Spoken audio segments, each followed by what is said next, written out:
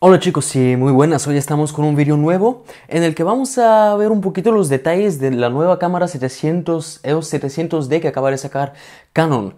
Eh, la verdad es que yo estaba sorprendido porque no... Claro, como no sigo mucho los, eh, las noticias, pues no lo sabía. Entonces me he enterado hace unos días y... perdón. Pues me ha parecido interesante hacer un vídeo para mencionar los, eh, digamos, no solamente los aspectos técnicos, sino también hasta qué punto, hasta un cierto punto, dar mi opinión sobre si es una buena compra, si va a ser una buena compra o no. Bueno, entonces es la Canon EOS 700D y es un siguiente modelo de la 650D. Entonces estaba la 600D, 650D y 700D. Yo personalmente para la 650D, mi opinión en, el vídeo que hice hace tiempo fue que no, o sea, es buena cámara, no es mala cámara, pero no, me, no la recomendaría para, para comprarla. ¿Por qué? Pues porque es una cámara de más de principiante pero tampoco profesional y a la vez tiene algunas cosas que son totalmente inútiles pero que suben de, precio. O sea, prácticamente es un juego un poco comercial. Y, con la 700D pues estamos no tan así, pero bueno, vamos a ver. En primer lugar, tengo aquí mis notas por si acaso, para que no se me olvide, porque igual me lío con algo. Tiene un sensor CMOS de tamaño APS-C de 18 megapíxeles, igual que antes un procesador Digic 5 que está bien, está muy bien, porque son los nuevos procesadores, nuevos puntos de enfoque como antes. Eh, y la ISO llega desde 100 hasta 12800 y, forzando la cámara puedes llegar hasta 25600. En mi cámara, en, la 60D, llegas hasta 6400 y forzando hasta 12800. Lo que significa que con la 700D puedes tener un paso de luz más que con la 60D o con la 600D. Lo que está bien, está muy bien. Eso es gracias al, procesador que han puesto, el procesador nuevo. Hasta 5 fotogramas por segundo. Bastante bien. Mm, esto es bastante relativo también. Porque si disparas en RAW, sí, son 5 fotogramas por segundo, pero igual te hace, dependiendo de la ISO, y si tienes reducción de ruido, pues igual te hace entre 4 y 7, 8 fotos por segundo. Esta con el nuevo procesador pues puede que haga hasta 10, ah, perdón, no por segundo, sino en ráfaga. Igual te hace hasta 10 fotos en ráfaga, lo que significa 2 segundos de fotos y luego tienes que esperar un buen rato. La 60D, eh, el buffer que tiene con, con ISO alta y en RAW, en, en máxima calidad, en máxima resolución, son 7 fotos. Si estamos hablando de JPG son 50 y pico. Pero claro, disparando en RAW es otra cosa. Luego estamos con el visor. El visor tiene una cobertura de 95%. Hay gente que se queja un poquito de esto.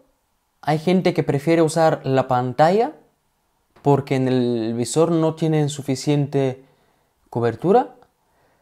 No estoy de acuerdo con eso.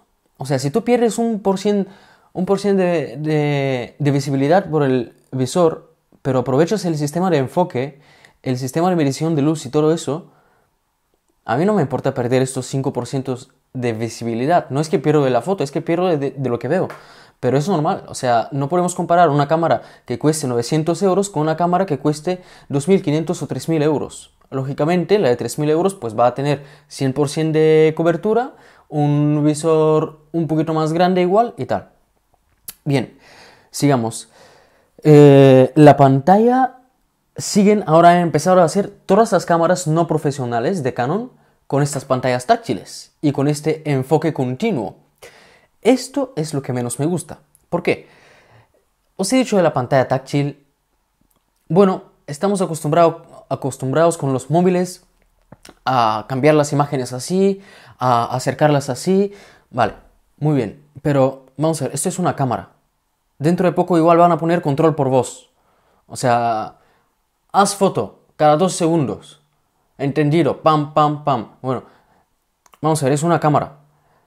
Para mí se está alejando ya un poquito la cosa de lo que es la fotografía, porque si tú tienes que, por ejemplo, aparte de esto, el enfoque continuo en vídeo, Chicos, de verdad, no os engañéis por eso, ni por las capacidades de la cámara, ni por los nuevos objetivos que están sacando, porque están sacando más y más objetivos nuevos. Este, por ejemplo, viene con un 1855 nuevo que permite este STM, o sea, Stepping Motor, igual que el 40mm 2.8 de Canon, que te permite un suave enfoque continuo durante la grabación de vídeo.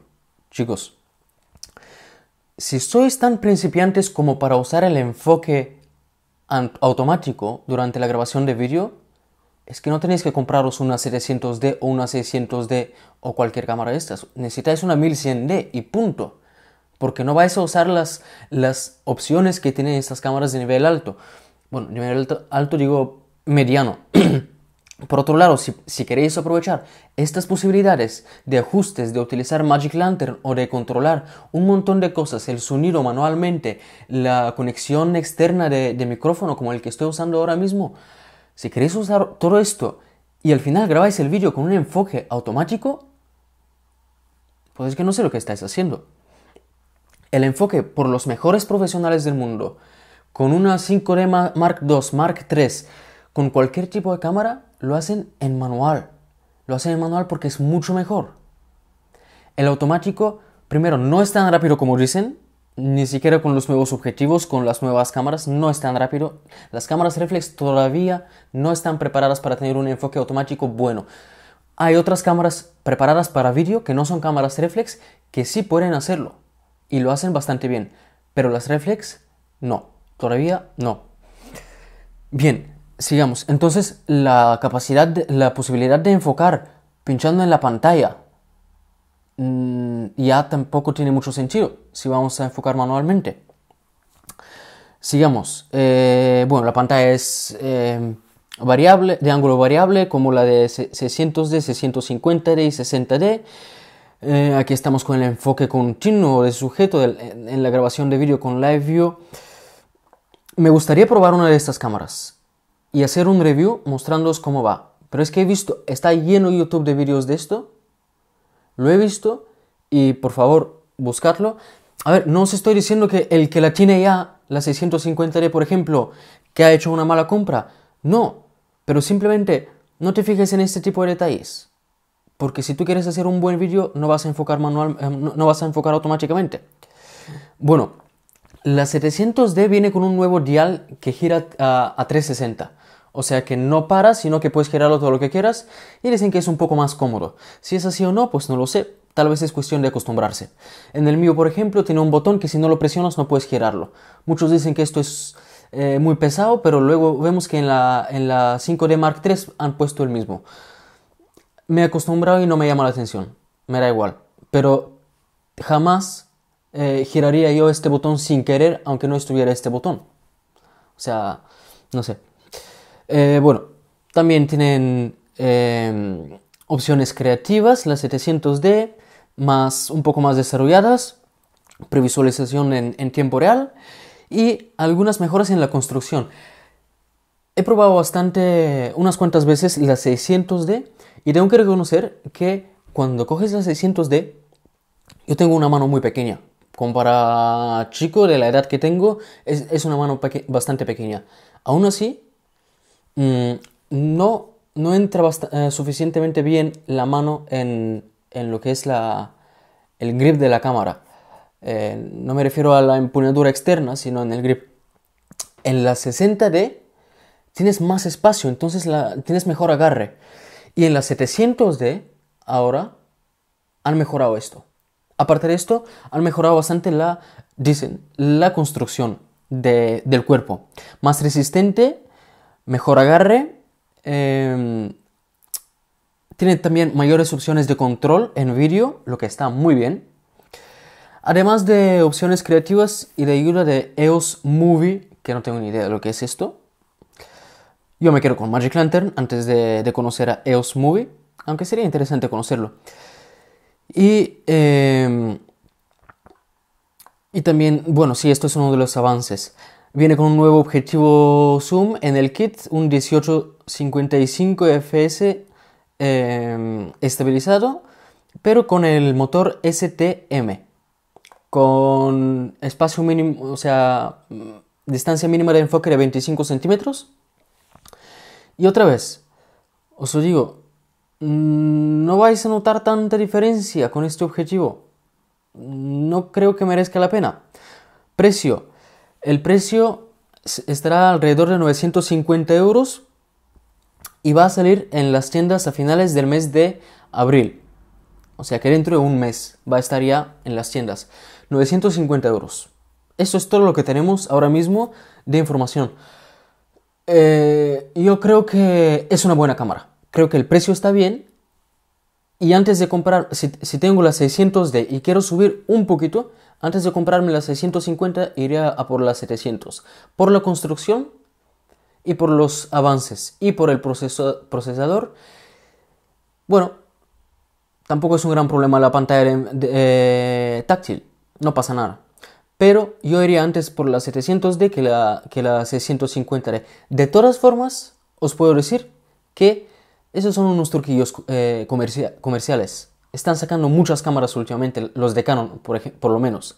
Están sacando muchas cámaras para venderlas y para hacer más dinero. La 700D, tengo mejor opinión de esta cámara que la de, que de 650D. Si tenéis alguna preguntita, la podéis hacer debajo del vídeo, chicos. Espero que este review eh, preview os ha servido de algo y espero que mi opinión pues ha podido ayudaros un poquito en tomar una decisión correcta y pensar en eh, los puntos más importantes de una cámara. Nos vemos en el siguiente vídeo chicos y hasta la próxima. Chao.